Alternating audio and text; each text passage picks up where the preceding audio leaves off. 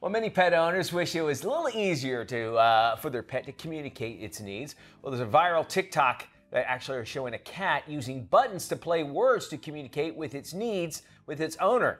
Justin Bieber the cat was meowing at its owner all morning and they asked him to use his words instead. Check this out. In the video, we're actually seeing Justin figuring out which words best display his emotions and wants.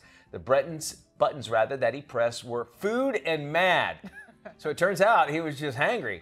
Justin's owner was able to actually fix his problem with just push of two different buttons. And I've seen this more and more. There's actually sure. uh, maps. I wonder if it's random and then we're trying to do it, or if they if, if they really know what they're saying. It's like I know if I do that yeah. and that, I'll get something. Right, right, right. Pavlov's dog. Interesting.